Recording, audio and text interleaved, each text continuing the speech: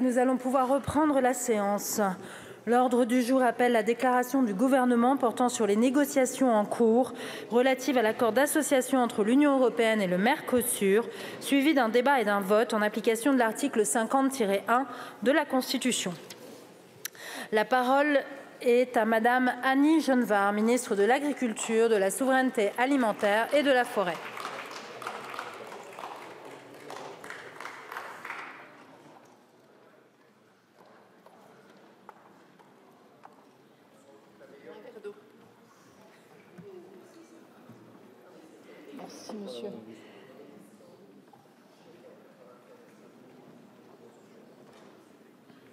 Merci Madame la Présidente. Mesdames et Messieurs les, députés, Mesdames et Messieurs les présidents de groupe, il y a très exactement 60 ans, le 21 septembre 1964, débutait un voyage de près de 32 000 kilomètres à travers le continent sud-américain. Bien qu'il n'ait pas exactement été prononcé à cette occasion, la postérité y associera ces mots Marchamos la mano en la mano. Ce voyage, mesdames et messieurs les députés, c'est le général de Gaulle qui l'effectua trois semaines durant dans le but de renforcer les liens qui nous unissent aux républiques d'Amérique latine. Ces mots, je crois utile de rappeler qu'ils sont le reflet d'une ambition inchangée. Les peuples français et sud-américains ont marché, marchent et marcheront main dans la main. Cette relation, parce qu'elle est forte et profonde, résistera avec certitude aux épreuves du temps, à la condition toutefois qu'elle demeure exigeante et que les grands équilibres dans lesquels elle s'inscrit ne soient pas menacés. Or, à l'heure où plusieurs de nos partenaires pressent la conclusion d'un accord de libre-échange avec le Mercosur, le risque est réel. Car, et j'insiste sur ce point, mesdames et messieurs les députés, L'accord tel que la Commission l'envisagerait n'est pas acceptable et le gouvernement français et le président de la République s'y opposent donc pleinement, résolument. Mesdames et Messieurs les députés, si cette opposition est ferme, elle n'a rien de doctrinaire et vous ne trouverez personne au gouvernement qui entende prohiber les échanges agricoles. Ne l'oublions pas, le secteur agricole est pour la France un véritable vecteur de puissance au plan mondial. Nous demeurons aujourd'hui le sixième pays exportateur de, produits agricoles et agroalimentaires et nos exportations généraient en 2023 près de 85 milliards d'euros de chiffre d'affaires et 6 milliards d'euros d'excédent commercial. Ces résultats, nous les devons pour partie à la libération des échanges et à l'abaissement des droits de douane. Les parts de marché agricoles que nous avons conquises à l'instauration du marché unique européen le démontrent. Il serait donc irresponsable pour la France de s'opposer par anticipation et par principe à tout accord de libre-échange, tant ceux-ci, lorsqu'ils sont équilibrés, peuvent constituer de précieux débouchés pour nos filières, pour la France et pour l'Europe. Si nous nous opposons à cet accord, ce n'est pas par dogmatisme, mais par pragmatisme, parce que les craintes graves qu'il a fait naître chez nous n'ont pas su trouver de réponse en 25 années de négociations. Les premières de ces craintes sont économiques et sanitaires.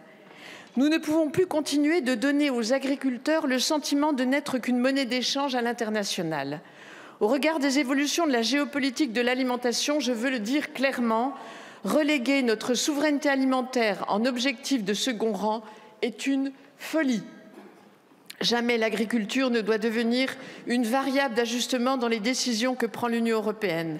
La France le refuse. Dans cette configuration internationale, notre vote de ce jour doit permettre de reconnaître solennellement que la France veillera désormais à ce que l'agriculture ne soit plus un secteur défensif, mais un secteur stratégique à défendre. Voilà notre ambition. Mais le problème va plus loin. Mesdames et Messieurs les députés, en 67 ans d'existence, notre Union a su bâtir un cadre normatif étoffé, robuste, qui encadre avec rigueur les modes de production agricole et fait de nos paysans les garants de notre sécurité sanitaire. Or, les multiples audits qu'elle a menés depuis 2017 en Argentine, au Brésil et en Uruguay ont mis en évidence des failles parfois qualifiées de systémiques dans les dispositifs d'inspection et de contrôle de ces pays Un nouvel audit l'a encore rappelé récemment pour la viande bovine. Cet état de fait implique que dans les conditions actuelles, la production des pays du Mercosur ne nous permet pas de garantir ni le respect des normes européennes pour les denrées importées telles que nous l'envisageons en Europe, ni l'établissement de conditions de concurrence loyales pour nos agriculteurs. Dans ce cadre, le président de la République et le gouvernement formulent une exigence de bon sens. Si une norme est nécessaire pour un produit chez nous, elle doit l'être pour tous les produits similaires d'où qu'ils viennent. C'est pourquoi la France souhaite développer des mesures dites miroirs, c'est-à-dire réciproques et concernant l'ensemble de nos partenaires commerciaux. Nous voulons de telles clauses et du contrôle de ces clauses. C'est la clé pour défendre notre modèle agricole vertueux, respectueux de l'environnement et, des, consommateurs. Comment justifier l'ouverture de notre marché à 180 000 tonnes de sucre lorsque l'on sait que jusqu'à 145 pesticides dont l'Union européenne interdit l'utilisation à ses producteurs peuvent être librement répandus dans les exploitations du Mercosur. Ce constat est d'autant plus frappant lorsque l'on sait que les limites maximales de résidus phytosanitaires que nous nous sommes imposées en Europe sont jusqu'à six fois supérieures dans certains pays du Mercosur. De même, comment justifier l'ouverture de notre marché?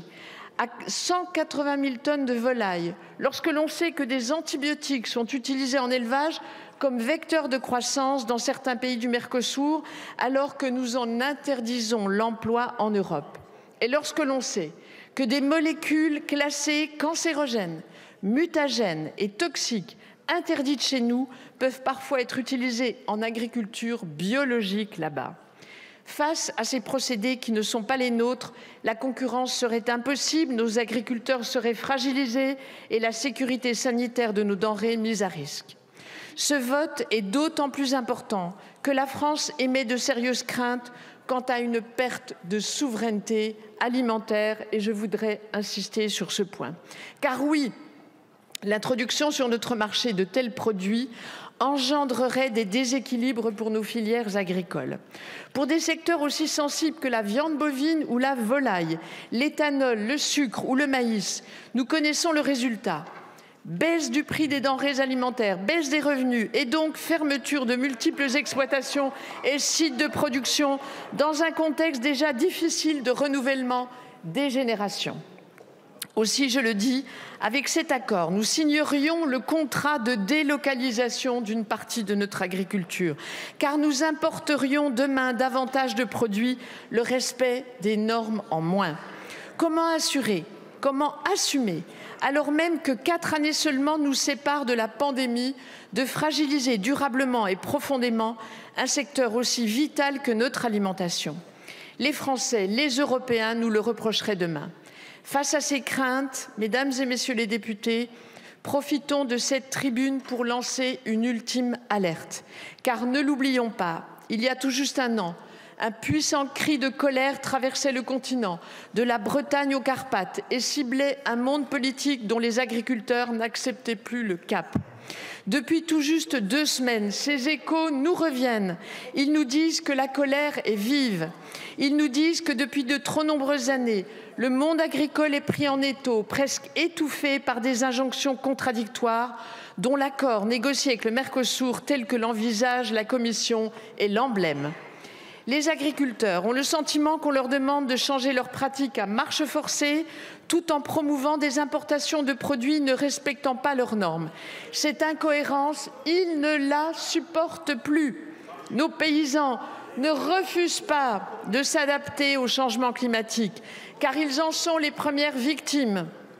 Toutefois, ils ne supportent pas que dans le même temps, nous promouvions des importations de produits ne respectant pas les normes qu'on leur impose.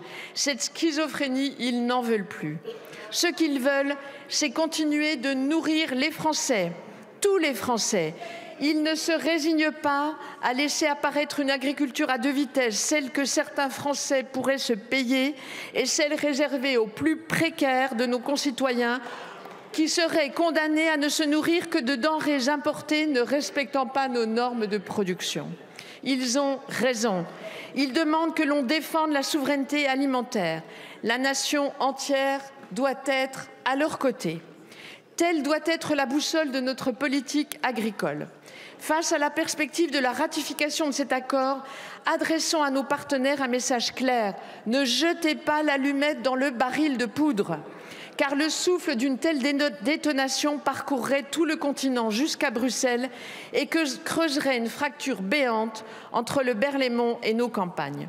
Voilà, mesdames et messieurs les députés, les raisons qui poussent le gouvernement à s'opposer à cet accord tel que l'envisage la Commission.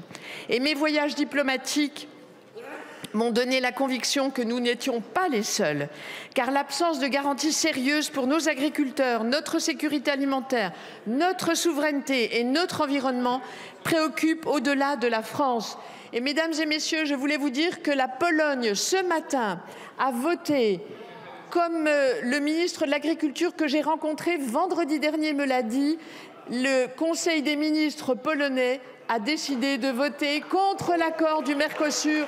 C'est un magnifique signal auquel nous devons nous aussi euh, apporter notre concours.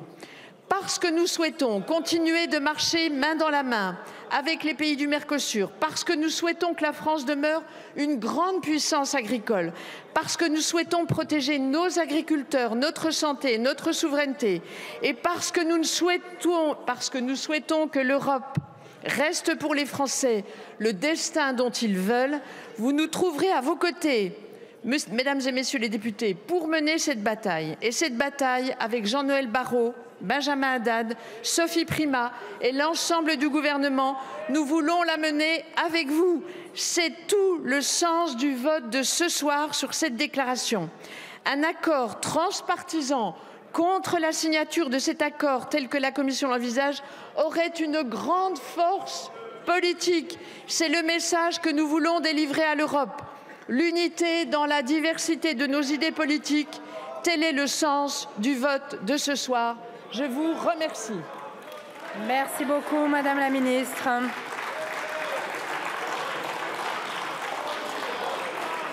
La parole est à présent Madame Sophie Prima, ministre en charge du